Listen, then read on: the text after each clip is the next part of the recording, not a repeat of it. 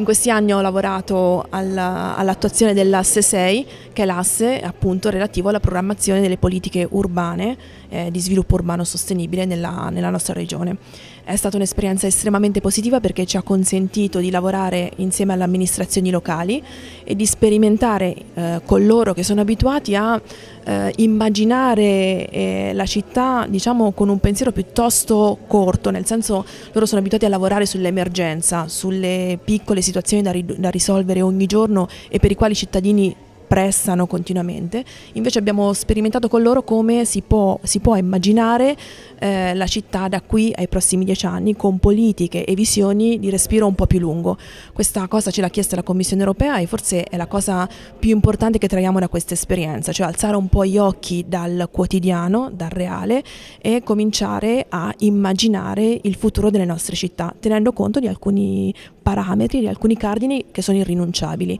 L'idea di una città più vivibile, più sostenibile, più smart e più inclusiva, perché tutte queste dimensioni fanno della città un luogo in cui vivere, vivere bene e vivere diciamo, in una pos positiva eh, anche relazione di benessere eh, non solo economico ma anche sociale con chi vive accanto a noi.